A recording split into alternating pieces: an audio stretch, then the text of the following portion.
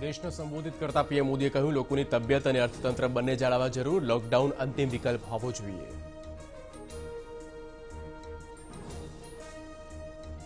રાજ્ય સરકારના બે મહત્વના નિર્ણય, તમામ ખાનગી હોસ્પિટલ કરી શકશે. કોરોના દર્દીની સારવાર સારવાર કરતા કર્મચારીઓના માસિક મહેનતાણામાં પણ વધારો.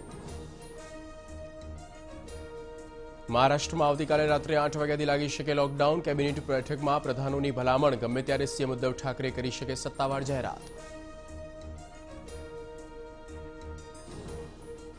ગુજરાતમાં કાળબંધો કોરોના એક દિવસમાં બાર હજાર બસો છ કેસ, એકસો એકવીસ લોકોના મોત.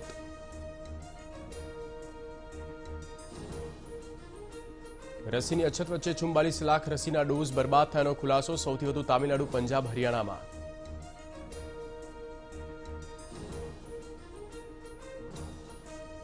લોકડાઉનને લઈને ફરી એક વખત સીએમ રૂપાણી કરી સ્પષ્ટતા, રાજ્યમાં કોઈ લોકડાઉનની જરૂર નથી. મોટાભાગના શહેરમાં નાઇટ કરફ્યુ તેજ યોગ્ય.